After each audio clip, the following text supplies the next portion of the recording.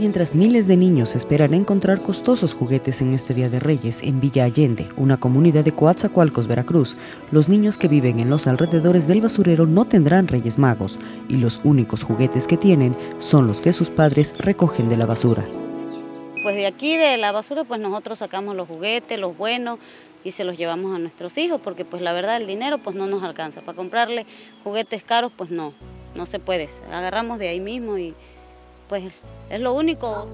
Es el caso de las pequeñas María y Fernanda, quienes este año pedirán unas muñecas a los Reyes Magos, ya que las únicas que tienen están viejas, rotas y sucias, casi todas recogidas de la basura. ¿Y qué tipo de muñeca le pides a, a los Reyes Magos? Una muñeca que habla. Muñeca.